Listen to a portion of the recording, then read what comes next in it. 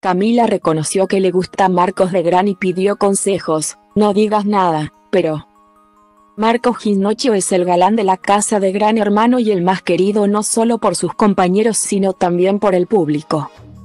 Es así que lo han emparentado mucho a Julieta Poggio debido que son los dos jóvenes y considerados los más bonitos de la casa.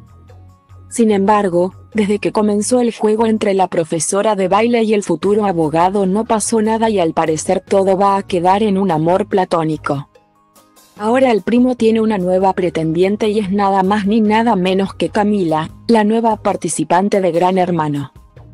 En una charla que tenía junto a Tiago en el patio de la casa, la jugadora confesó lo que ya parecía obvio por cómo lo miraba al salteño pero no se animaba a decirlo.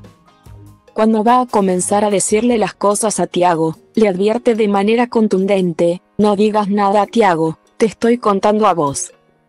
Me parece lindo el primo y quiero activar en algún momento, pero todavía no. Confesó la joven. Su compañero ante la declaración de Camila afirmó haberse dado cuenta desde hace días que ya le gustaba a Marcos. Camila afirmó de todas maneras que, tampoco a gustar, me parece lindo. Demasiado aclaró. Luego pasaron a la fase de consejos y le pidió a Daniela, quien ya sabía de sus sentimientos por el salteño y a Tiago. Vos que sos hombre, ¿qué me recomendarías? le dijo Camila a Tiago que escuchaba atentamente. Ante esto Tiago fue totalmente sincero y comentó, no sé, el primo es muy difícil.